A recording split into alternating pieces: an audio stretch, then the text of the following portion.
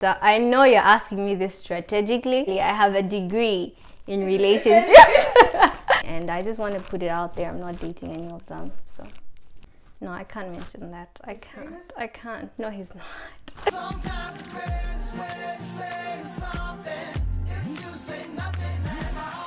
Hi guys, it's Tori. Welcome back or welcome to my channel. If you're new, thank you so much for clicking to watch this video. Don't forget to like, subscribe and leave a comment down below. So in today's video, I am going to be answering some questions. This video idea was suggested by my little sister who is going to be in the background asking me questions. You guys are not going to see her in the video because she's camera shy.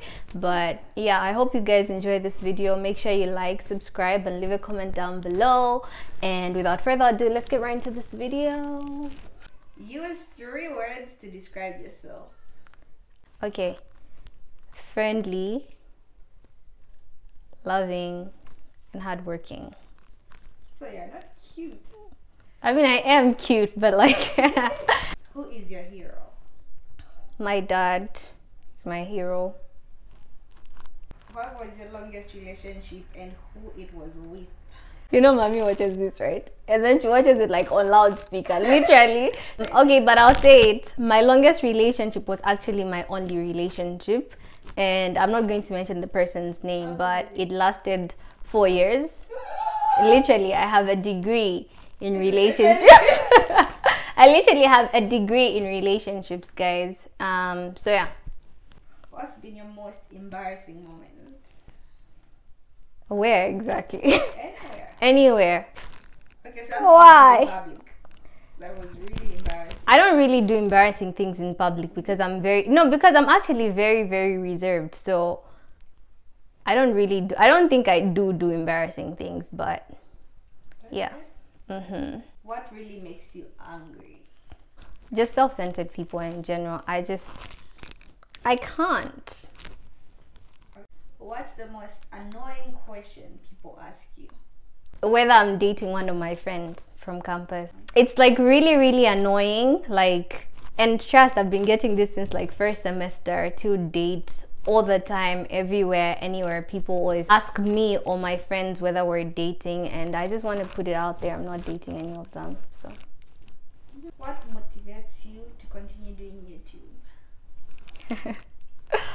um, I feel like what motivates me to keep doing YouTube is just a passion to edit which was the main reason why I started YouTube in the first place. I just genuinely fell in love with editing, color correction. It's more of a hobby, and that's the driving force behind doing YouTube. Okay. Name one thing you really regret.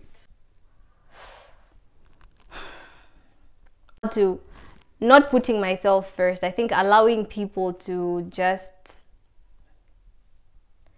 devalue my standards in the sense of not getting what I deserved and knowing that it's not what I deserve, but allowing it to happen. I think that's like one of my biggest regrets. And it does happen so many times still where I compromise my standards for certain people and then they don't treat me accordingly. But I feel like with time, I'm like literally just learning to not let that happen more. Um, yeah, compromising my standards for people. I think that's that's always my biggest regret. So yeah. Name something you currently worry about.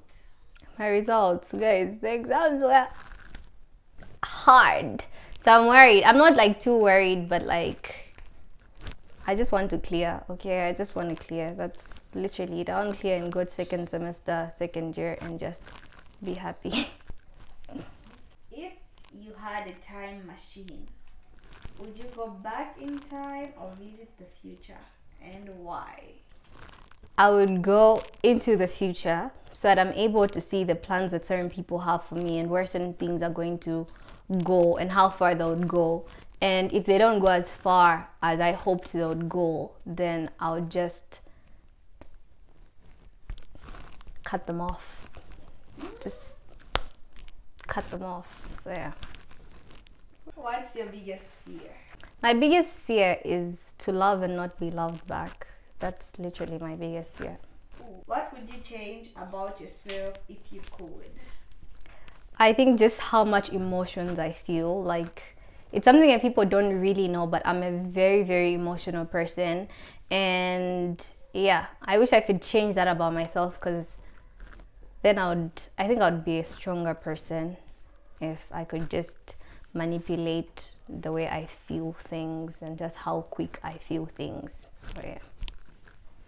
What's your favorite reality show? Flea Market Flip. Actually, yeah, I'd actually watch Flea Market Flip. It's nice. Okay. Very crea- creative. Who is your favorite sister? I actually don't have a favorite sister. I know you're asking me this strategically, but I don't have a favorite sister. I do change between you two because I do change for the viewers. I do change between my elder sister, my immediate older sister, and my only young sister. Um, but it just depends on the mood. It depends on who treats me nicely for the day. What's your proudest accomplishment? My proudest accomplishment. Woo! I don't think I have any. I don't know. I don't. I don't consider myself as somebody who's achieved already. I don't think I have one. Who was your high school crush? I can't mention my high school crush. Like I literally can't, and I would never. For the record, he's not even my crush anymore. Okay, so yeah, my high school crush. No, I can't mention that. I can't. I can't. No, he's not. no, he's not. But like, I just, I can't. I can't. I can't. If you could live anywhere else, where would it be? I'd live in Thailand. Yeah, I'd actually live in Thailand. The culture, the food, like, I'd be happy. I'd be happy there, okay? I'd be just happy. Like, the culture, I'd, I'd be excited. Keep when it you're going. having a bad day, what do you do to make yourself feel better? Um, usually I just sleep it out and hope that when I wake up, I feel so much better. And it works sometimes, but some days it's too bad to a point that I can't sleep, and I would maybe read something and pray about it. So, yeah.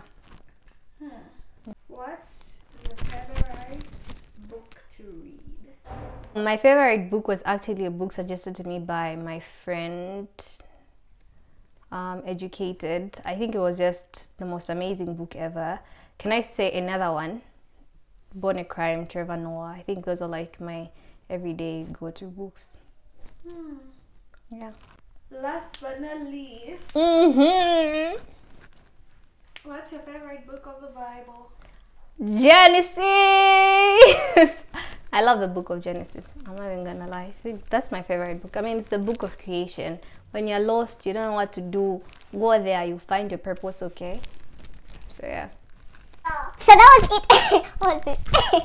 okay, so Okay, so that was it for this Q&A. I hope you guys enjoyed. Make sure you like, subscribe, and leave a comment down below. And I'm going to see you guys in the next video. You can ask